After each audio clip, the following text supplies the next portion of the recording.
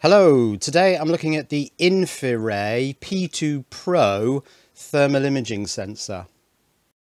So this is the camera or sensor. Um, it's a USB type C for Android phones. Uh, it's very tiny. I'll just put an AA uh, cell there so that you can see the size of it. It is really quite small. Um, and also in the box is this um, macro lens. So I'll just take off the lens cover and that simply sticks on with a magnet. So it's pretty quick to put on.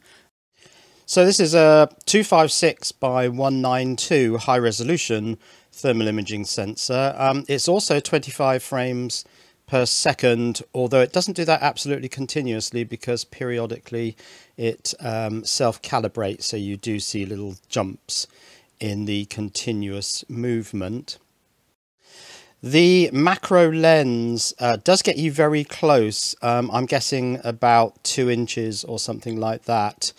Um, but occasionally that's useful if you want to look at some small electronic components. Okay, let's get um, some electronics which is going to give off some heat and take a look at the images um, through the app which I'll run on my Samsung phone and you can also record video, which is going to be really handy for this video.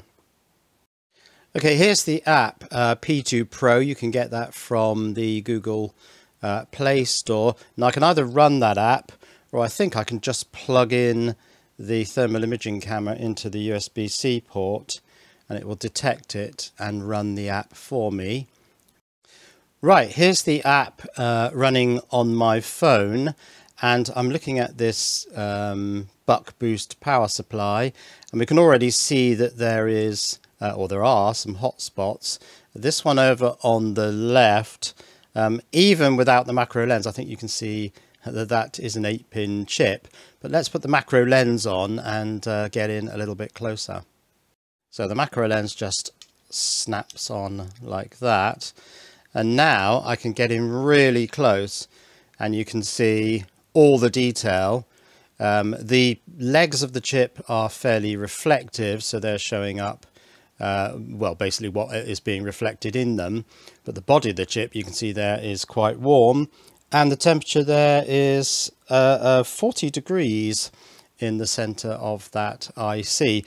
Now that's a small buck regulator IC and it's the main power supply for all the electronics, including the microcontroller on this unit uh, lying down on the board. Looks like a possibly a two pin. That's possibly uh, oh the tab may be being used as the third connection.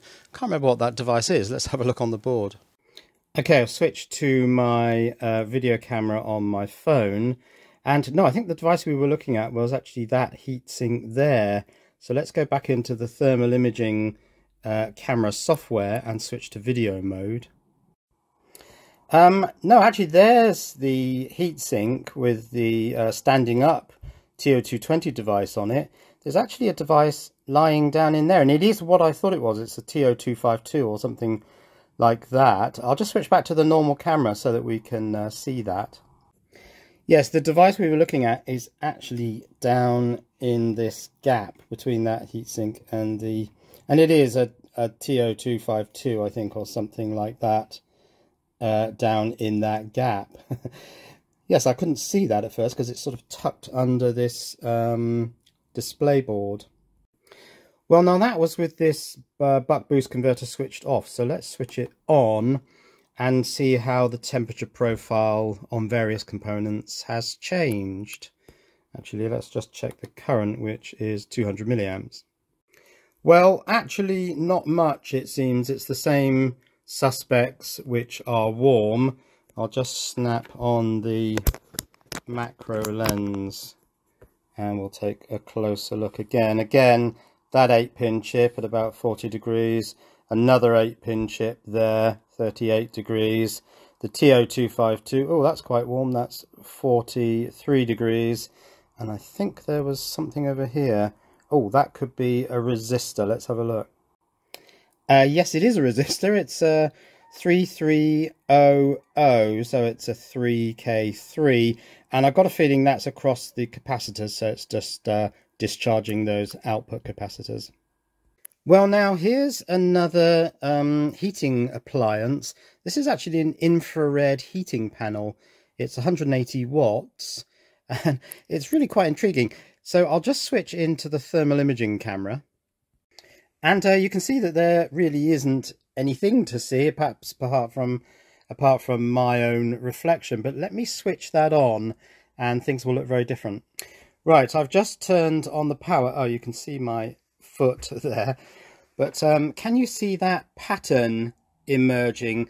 Now, the um, resolution of this sensor is such that you can actually see, I don't know whether you'll be able to see my hand here, yeah, um, the wiring inside this panel. Yes, I can feel the heat coming off it, but you can see the connection point and a cable inside the panel, and you can see all these sort of heating cells, um, which you're just completely unaware of um, if you look at using a normal camera.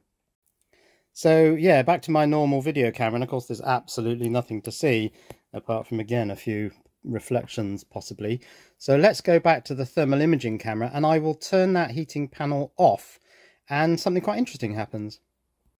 So there again is the uh, pattern of the heating cells, and it's interesting because there are parts of this which are so hot you can't touch them, um, but there are other parts up in these corners um, which are not as warm and oh you can touch them and in fact you can use your finger to suck the heat out of that panel. Right, let me switch that off, which I can do here. Um, off.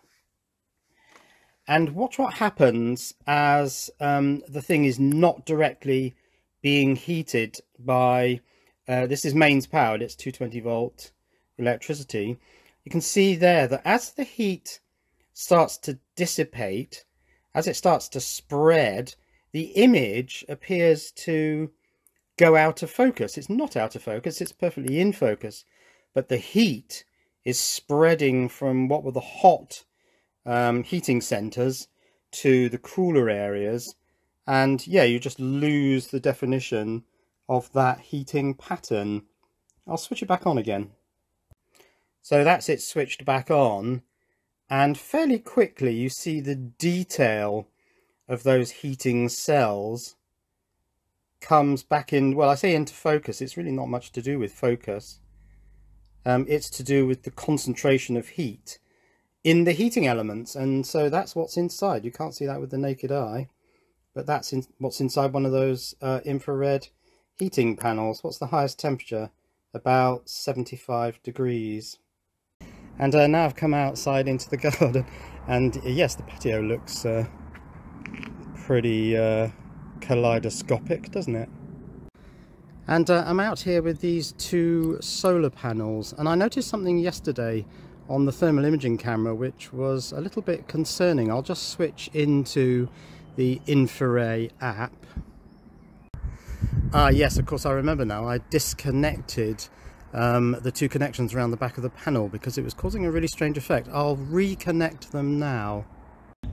Yes, you can see I've disconnected. There's one of the MC4s and the other one's over there. So I'll connect those back together again.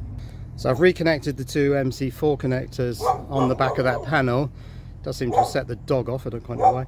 So let's switch back into the thermal imaging software. And what I noticed was that there were some cells which seemed to be quite a bit hotter than adjacent cells. So for example, there's one cell here which is much warmer. Well, in fact, there's one down there which is quite a bit warmer. Let's actually feel that. And yeah, you can actually feel that that cell is warmer than adjacent cells. So what's going on here? I've got a funny feeling that the terminal voltage of course has to be zero because I've shorted out the MC4s but are some cells generating voltage and other cells perhaps going inverse voltage but um, yeah it's only really with the thermal imaging camera like this that you can see that strange effect and here's a really interesting effect on the thermal imaging camera well you can see my reflection but you can also see the cell bottom right is much warmer, but only in its top left-hand corner. Let's go back to the normal camera and you'll see why. And the reason is that that cell is half shaded. So the bottom right of that cell is probably cold, and it is, but the top left is warm, and in fact it's a lot warmer than adjacent cells. I'll go back into the thermal imaging camera. Yes, that's really interesting, isn't it? So by partly shading that cell, it's doing far less work than all the other cells, and as a result, I think it's being driven by the other cells, so it's getting hotter. Yeah, that's really interesting. And it shows the effect of partial shading on a solar panel. So that shows a few other things uh, you can do with this InfiRay high resolution 256 uh, by 192 pixels thermal imaging camera with 24 or 25 uh, frames per second video. You can shoot actual thermal imaging videos um, of interesting things that get warm. Okay, so um, details in the description below, including uh, lots of Amazon links where you can purchase this item. Uh, also a $20 coupon code. You can get $20 off this device using my special coupon code. And a big thanks to InfiRay for sending me this device for review. Cheerio.